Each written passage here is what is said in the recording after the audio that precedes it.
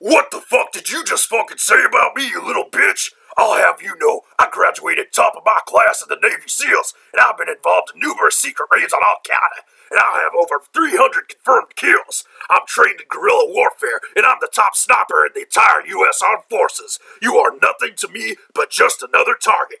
I will wipe you the fuck out with precision likes of which you have never seen before on this earth. Mark my fucking words. You think you can get away with saying that shit to me over the internet? Think again, fucker. As we speak, I am contacted by a secret network of spies across the US of A, and your IP is being traced right now, so you better prepare for a storm, maggot. The storm that wipes out the pathetic little thing you call your life.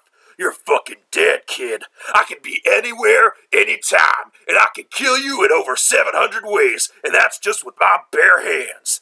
Not only am I extensively trained in unarmed combat, but I have access to the entire arsenal of the United States Marine Corps, and I will use it to its full extent to wipe your miserable ass off the face of the continent, you little shit. If only you could have known what unholy retribution your little clever comet was about to bring down upon you, maybe you would have held your fucking tongue. But you couldn't, you didn't, and now you're gonna pay the price, you goddamn idiot. I will shit fury all over you, and you will drown in it. You're fucking dead, kiddo.